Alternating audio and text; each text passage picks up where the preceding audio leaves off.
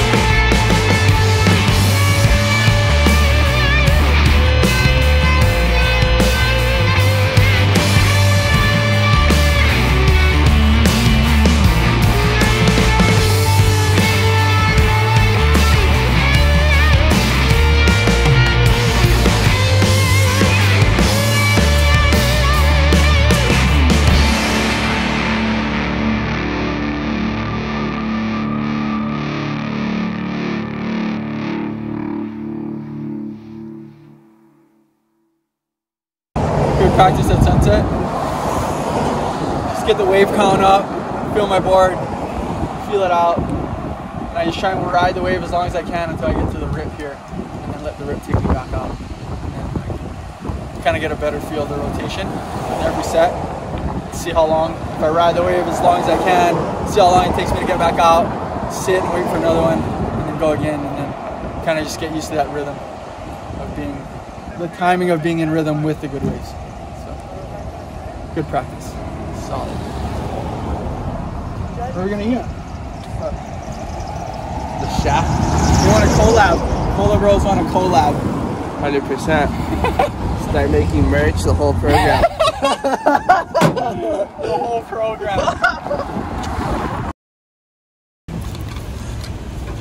Good morning. Aloha kayaka. Kako. the waves are firing. Took a little while. Woke up in the morning. It's kind of just like morning sickness.